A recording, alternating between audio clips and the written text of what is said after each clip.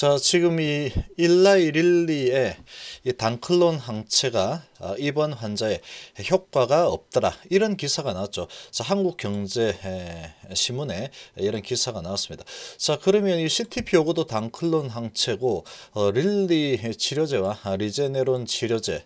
자, 이런 부분이 지금 FDA에서 승인이 났죠. 이렇게 승인이 났는데 그러면 이제 이 입원 환자에는 효과가 없더라. 이렇게 나와 버리니까 야 이거 그러면 뭐 CTP59 같은 경우에도 상당히 기대를 많이 하고 뭐 어쩌고저쩌고 하던데 이것도 단클론 한체인데 이제 얘도 이제 끝인가? 승인은 물 건너 간 건가? 안 되나? 아, 이런 부분에 대해서 한번 알아보겠습니다. 자 이 결과에 이런 결과가 나오는데 릴리의 주가는 도대체 그럼 어떻게 움직였을까? 이것도 궁금하죠? 자 이런 부분에 대해서 한번 살펴보겠습니다 자, 먼저 이 기사 내용을 좀 보면은 자, 이런 기사 나왔죠. 자, NEJM 릴리 단일 클론 항체 치료제 코로나 입원 환자의 효과 없더라. 아, 제목이 살벌합니다. 입원 환자 효과 없더라. 단일 항클론, 아, 단일 클론 항체 치료제 입원 환자 효과 없어. 미국 등에서 대규모 연구팀 치료 효과를 분석을 했더니 이 가짜약 투여와 항체 투여 환자군 차이가 없더라.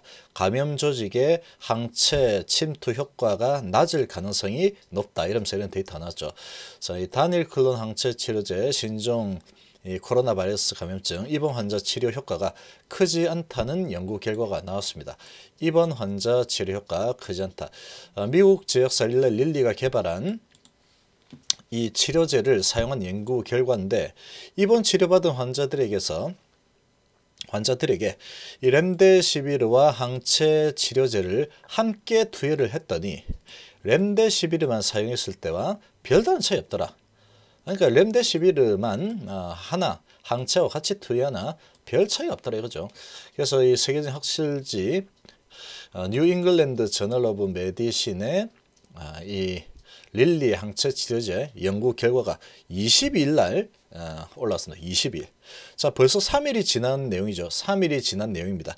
어, 22일 날 예, 공개가 되었죠. 그러면 아, 이거 공개됐으니까 릴리 주가 급락했겠구나. 이렇게 보면 되겠죠. 자, 어떻게 흘러갔는지 한번 보, 어, 보겠습니다. 이 릴리의 치료제 효과와 유용성 등을 평가하기 위한 어, 대규모 연구팀이 이, 스타, 이 스터디 그룹에서 어, 발표한 공식 연구 결과인데 인명 피해를 줄이기 위해서 중증 입원 환자에게 중, 여기서 나오죠. 이제 이걸 잘 봐야 됩니다. 중증 입원 환자에게 중증 입원 환자에게 잘 듣는 치료제를 찾아야 한다. 중증 환자에게 잘 듣는 치료제 찾아야 되죠. 어, 지금 이 치료제가 지금 없습니다. 아, 이 치료제 해봤자 지금 렘데시비르밖에 없죠. 근데 이것도 어, 효과가 뭐 거기서 거기입니다. 그러다 보니까 어, 지금 이런 어, 치료제 개발하는 회사들이 전 세계 뭐 천 개 정도 되고 있죠.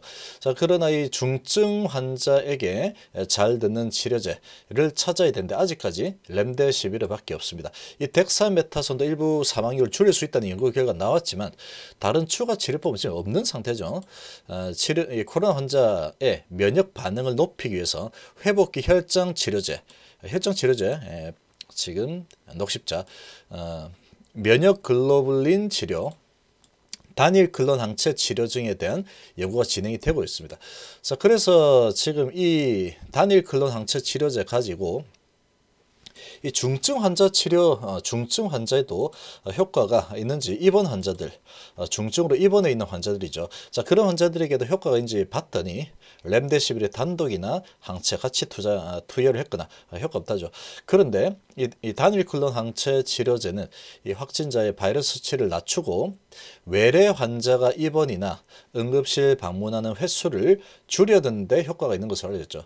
자 이렇게 경증 환자 치료 효과가 입증이 되어서 어, FDA로부터 긴급 승인 받았죠. 자, 이 부분이 중요합니다. 지금 이 릴리의 항체 치료제는 경증 환자 치료 효과가 입증이 되어서 FDA로 긴급 승인을 받았죠. 어, 그러나 이제 치료자 비싸다 어쩌고 이렇게 나오는데 비싸도 맞아야죠. 뭐 지금 뭐 어, 비싸도 맞아야 됩니다. 어쩔 수 없죠, 지금. 자, 지금 이제 경증 환자의 80%는 이 별다른 치료 없이 완치되기도 하기 때문에 뭐 비싼 것 때문에 이것도 이제 투여하는데 한계가 있다. 이렇게 어, 지금 어, 이야기를 하고 있는데 자, 이 이야기는 자, 이 이야기는 아, 지금 제가 보기에는 이 중간에 이렇게 끼워 넣었죠. 요런 부분은 요런 부분은 아, 지금 연구팀은 입원 치료를 받는 중증 환자에게도 효과가 있는지 확인하기 위해서 이번 연구를 진행을 한 거죠. 아, 이렇게 진행인데 요거는 이 공매 세력들이 좀 끼워 넣은 것 같습니다. 제가 보기에는 예, 지금 경증 환자를 대상으로 김수님 받았고 하지만 치료제가 요거죠 요거 여기서 여기까지 하지만 치료제가 수백만 이르니까 고가의 주사지이기 때문에 모든 경증 환자에게 투여하는 데는 한계가 있다. 그래서 80%는 어, 뭐 별다른 치료 없이 완치가 되기 때문이다. 이렇게 얘기하는데 지금 뭐 이게 목숨이 왔다 갔다 하는 상황에 나는 경증인 상황에서 거의 비싸가지고 나는 안 맞아야 되겠다. 이렇게 판단했다가 이 80% 안에 들지 못하면 20%로 가면 중증으로 넘어가죠. 그럼 이제 목숨이 위태로운 상황이 발생하는데 이거 뭐 나는 안 맞고 객이겠습니다. 이렇게 되, 는 상황인데 그렇게는 어, 되게 힘들겠죠. 그래서 이 부분은 비싸기 때문에 못 맞는 이런 부분이 있긴 하지만 어, 지금 이거는 어, 좀 공매세력들이 끼워넣은 그런 내용이겠죠. 요거는 어쨌거나 이제 그래서 중증 환자에게도 효과인지 봤는데 중증에는 별도 효과가 별로 없더라. 이 얘기입니다. 이 얘기. 혹시나 중증에도 효과가 있는가 시험을 해본 거죠. 그러나 아, 역시 중증에는 효과를 보기는 힘들구나. 그래서 FDA로부터 긴급 승인을 받은 게 경증 환자로 어, 치료를 받은 내용이구나. 이겁니다. 이거. 자 그렇게 보면 되겠죠. 자 이렇게 좀 보면 되는 부분이고 그래서 이제 결론은 중증 환자, 입원 환자 이 말은 다시 말하면 중증 환자, 중증 환자. 중증 환자는 어, 지금 렌데시빌에 투여받고 있죠. 중증 환자에는 효과가 없다. 이렇게 보면 되죠. 자, 이런 내용입니다. 자, 지금 그러면 셀트리온은 어떻냐?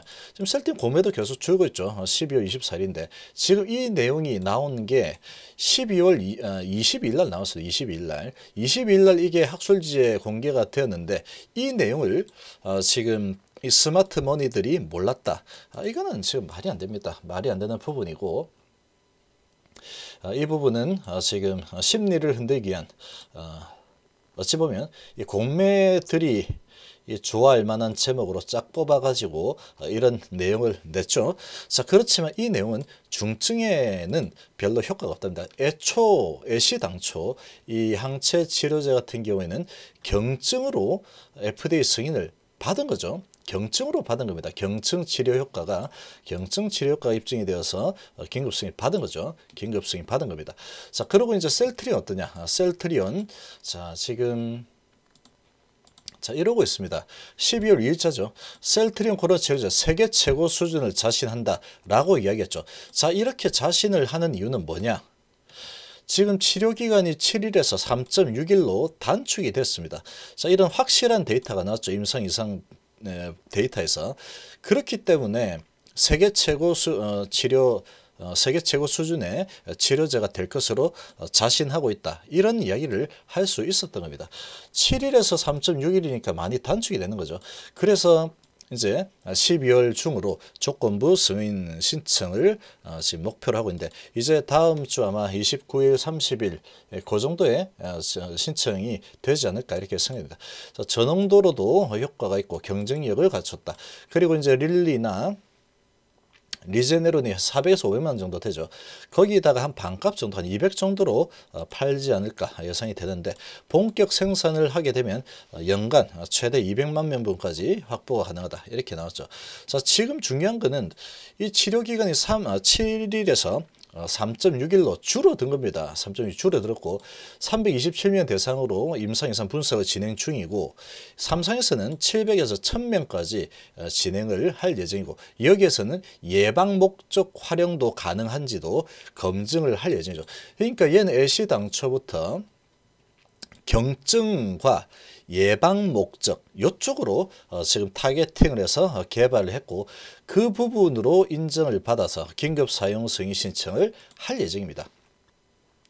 중증으로 넘어가지 않기 위해서 그래서 이제 서정진 회장이 이렇게 제안했죠. 전 국민 검사를 해서 어, 지금 조짐 있는 사람들, 양성으로 나온 사람들 중증으로 넘어가는데 시간이 좀 필요하죠. 어, 어 이게 왜 이러지? 이렇게 하다가 중증으로 넘어갑니다. 또 특히 나이 많은 사람들이 면역력이 약하다 보니까 그렇게 빨리 넘어가죠. 그런 부분 막기 위해서 어, 전 국민 항체 에, 지금 코로나 검사를 해서 어, 그 부분에서 어, 양성이 나온 사람들 전부 다 이거 이 항체 치료 주사 놔버리자는 거죠. 그렇게 하면은 어, 지금 경증에서 전부 다 막을 수 있다. 그러면 중증으로 넘어가지 않고 어, 퇴치를 할 수 있다. 그러면 코로나 청정국이 될 수 있다라고 제안을 했던 거죠. 그러니까 이거 지금 애시 당초에 중증에도 아주 효과가 있어서 모든 코로나 환자 그리고 예방 환자들에게 만능 치료제가 될 것이다. 이렇게 개발되고 있는 게 아닙니다, 지금. 애시당초부터 경증 환자 대상으로 진행을 하고 있죠. 어, 그래서 지금 이제 어, 임상 327명 어, 요 부분 완료를 했고 그리고 이제 이 결과를 보면은 이제 7에서 3.6일로 단축이 된 부분이죠. 유의차가 확실하죠. 자, 이런 부분을 가지고 이제 조건부 승인 신청을 할 예정에 있는 겁니다. 자, 그렇게 딱 보면은 얘가 승인이 될까 안 될까? 되겠죠, 이거. 안 될 가능성은 지금 이런 분위기로 봐서는 이 정도 데이터면 그리고 이렇게 세계 최고 수준의 자신 있다 이렇게 이야기했죠. 그럼 될 가능성이 99% 정도로 보면 되겠죠. 100%라고 이야기하기는 힘들게 힘든 상황이니까. 그러니까 얘는 릴리나 리제네론보다 밀리지 않을 자신 있다고 라고 이야기하는 겁니다. 릴리하고 리제네론의 그런 데이터 다 받겠죠. 셀트리온 쪽에서 이미 거기에서 이제 FDA 승인을 받았으니까 경증 치료제로 그러니까 그 부분보다도 이게 더 좋다. 내게 더 좋다 이겁니다. CTP 요구가 더 좋기 때문에 세계 최고 수준 자신한다. 이렇게 그 근거는 요겁니다. 이렇게 얘기하는 겁니다. 그래서 200만 명분 확보가 가능하다라고 하는데 승인 신청이 다음 주에 되면 승인 나겠죠? 날 겁니다. 이런 데이터가 있는데 안 날 수가 없죠. 그렇게 이제 승인이 나게 되면은 그래서 프랑스의 통상 장관이 와서 이 셀트리온에 방문을 한 거죠. 어, 그런 부분을 모르는 상태에서 방문을 했을 할 이유가 전혀 없습니다. 이 데이터가 나온 게 12월 2일자죠. 그러니까 프랑스 통상장관이 한국에 방문해서 셀트리온에 방문을 한 날짜는 어, 최근이죠, 최근. 그러니까 요 데이터를 다 전달받은 겁니다. 이런 부분에 대해서 어, 그걸 받기 때문에 어, 지금 릴리나 리제네론의 항체 치료제를 얻기에는 상당히 비싸기도 하고 미국에 뭐 하루에 20만 명씩 나오고 있는 상황인데 우리나라까지 이렇게 받을 수 있을까? 이런 상황이죠. 자, 미국 우선주의이기 때문에 그렇습니다. 그런 상황이다 보니까 셀트리온에 손을 내밀러 온 그런 상황이다. 이렇게 볼 수 있는 거죠. 그러니까 이 장관이 와가지고 셀트리온이라는 이런 회사에 방문한 것 아주 이례적이라 그랬죠. 어, 그렇기 때문에 이거는 승인이 날 가능성이 매우 높다라고 보면 됩니다.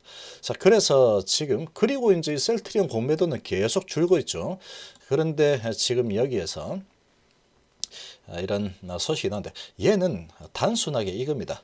어, 릴리의 단일 클로항체 치료제 어, 경증 코로나 치료제로 어, 긴급 사용 승인을 받았는데 중증에도 혹시 아, 예 이렇게 되게 좋은 것 같으니까 중증에도 혹시 입원 환자 이 중증에도 효과가 있을지도 몰라 그러니까 한번 해볼만 하잖아 일단 FDA 승인을 받아 놓은 상태고 중증에 대한 이 예, 새로운 약도 필요해 이렇게 지금 보는 겁니다. 그렇게 해서 이제 해봤더니 중증에는 어, 지금 효과가 없다는 거죠. 중증에 대해서 작용하는 그런 약은 다시 또 만들어야 되는 그런 상황이다라고 볼 수 있는 부분입니다. 자, 그렇게 보면 되겠죠. 자, 그러면 이 소식이 22일 날 학술지에 실렸으니까 해외 이제 릴리에 투자는 투자자들은 다 알고 있겠죠. 22일 날 이렇게 나왔던 거 다 알고 있습니다. 그럼 릴리는 주가가 어떻게 움직이냐? 자, 일날 릴리죠. 자, 릴리. 주가 좋습니다. 주가. 좋죠? 주가. 지금 뭐 저런 치료 뭐 이런 거 어쩌고저쩌고 했는데 아무 문제 없죠. 저거 해가지고 효과 없더라 했으면 야 이거 효과 없대. 큰일 났어. 이거 사기 당했어 하고 하한가 맞아죠. 하한가.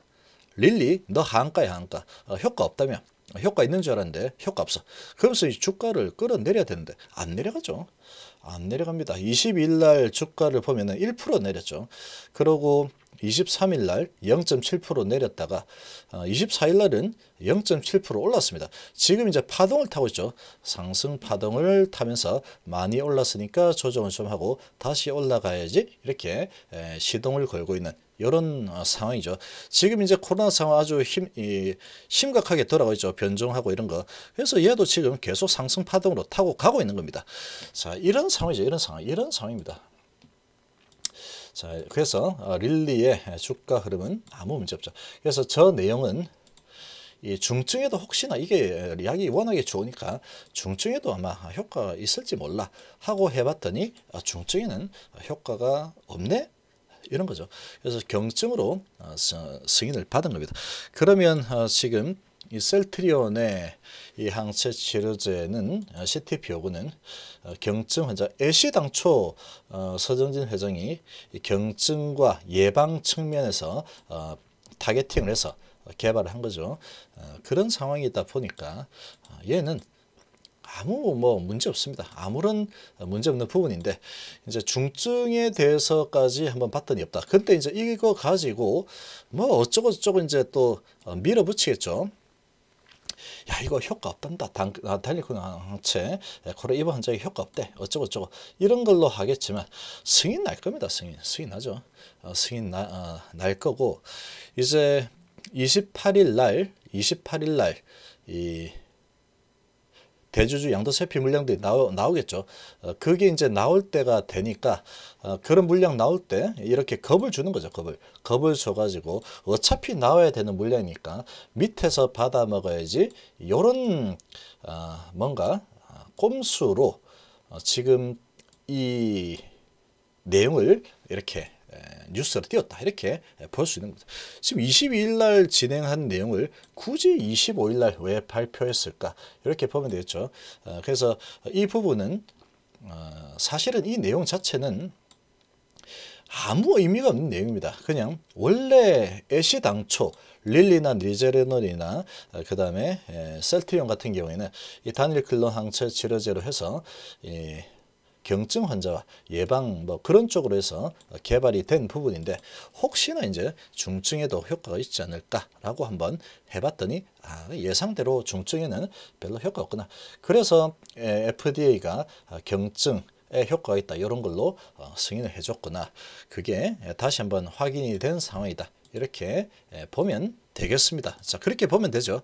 자 그래서 이제 지금 어, 이 내용을 좀 보면은 아, 확실합니다. 치료 효과는 7일에서 3.6일이죠. 그래서 조금 더 승인 신청을 하고 어, 승인 신청을 하게 되면은 어, 아주 강력한 모멘텀이 형성되죠. 그러고 이제 200만 명분 확보해서 이렇게 그만큼 지금 코로나 치료제가 어, 만들어지기가 쉽지가 않다는 거죠. 그래서 이 코로나 치료제가 전 세계적으로 어, 부족 현상이 나타날 거다라고 서정진 회장이 지금 어, 바라보고 있는 그런 입장이죠. 자, 그런 상황이기 때문에 이 부분에 대해서 지금 이런 찌라시가 아, 나왔는데 이건 그냥 찌라시일 뿐입니다. 잘 해석을 해야 되죠. 이 중증에는 원래 별로 효과가 없는 쪽으로 지금 알고 개발을 한 상황입니다. 서정진 회장도 계속 경증에서 막아야 된다. 중증까지 가기 전에 막아야 된다. 이렇게 계속해서 설명했죠. 우리 거는 중증 환자도 다 이거 맞으면 벌떡 환자가 일어납니다. 이렇게 이야기한 적이 한 번도 없어 지금. 그러니까 이거 중증 환자 효과 없다는 게 어, 지금 확인이 된 상황이다.